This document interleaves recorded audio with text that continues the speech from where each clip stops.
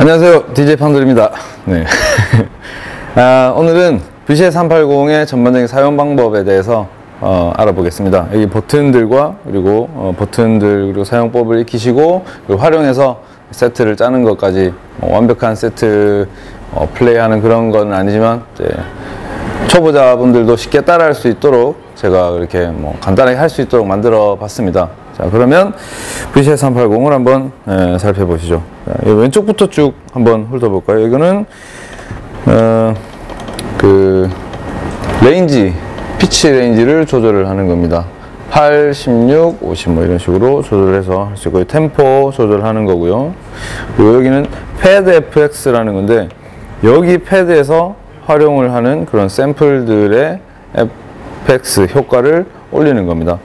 간단하게 보겠습니다. 어. 자, FX를 켜지 않은 상태로 보시면?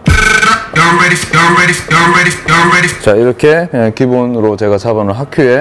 샘플 소리가 나오고요. FX를 켜게 되면 여기 지금 해당 FX가 플랜저로 되어 있습니다. 플랜저 여기 강도에 따라서 이 팩터가 먹게 됩니다.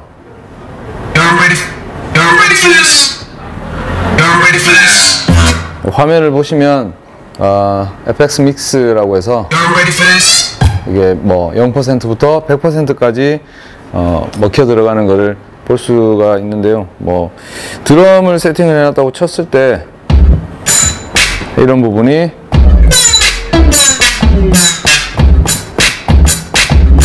강도 조절을 이용을 해서 이펙터를 자유자재로 먹일 수가 있습니다.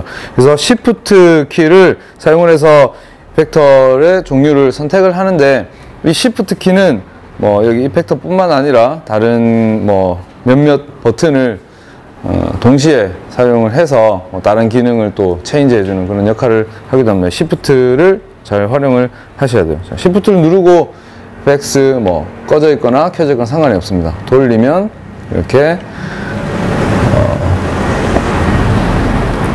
패드 이펙터의 종류를 이렇게 교체를 할 수가 있고요. 하이패스를 걸어볼까요? 그리고 그러면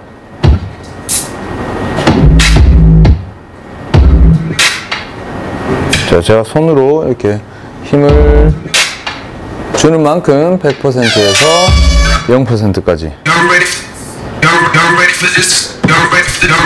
네, 이런 식으로 활용을 할 수가 있습니다. 이걸 활용을 하는 간단한 세트들도 제가 보여드리도록 하겠습니다. 자, FX 넘어가 그리고 핫큐, 핫큐는 어, 지금 제가 핫큐를 좀 잡아놨는데 킥 그리고 네, 뭐 방, 벨 소리 같은 네, 스네어 소리 그리고?